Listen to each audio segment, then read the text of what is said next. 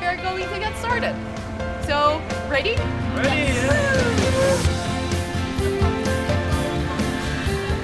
Нискотарифните компании доведоха много хора, които не биха дошли иначе, просто защото билета им е 50 евро.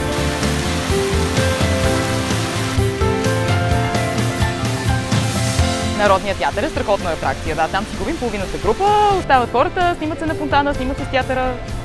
Uh, we have been here with a free tour uh, two hours ago.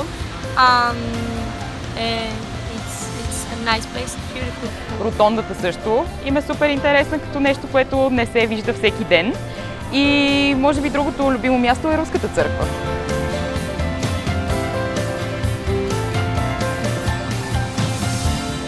First time in Bulgaria, I love it.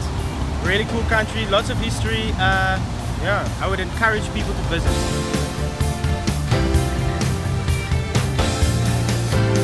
Мисля, че едно от любимите им необичайни места беше 1300 години България, обаче вече не могат да се снимат там.